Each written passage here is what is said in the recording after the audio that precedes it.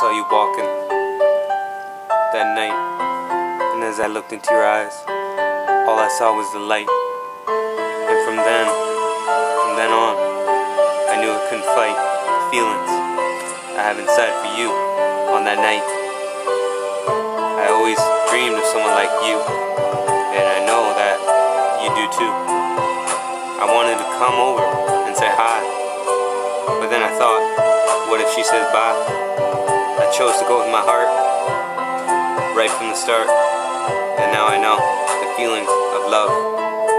Because to me, you were a dove.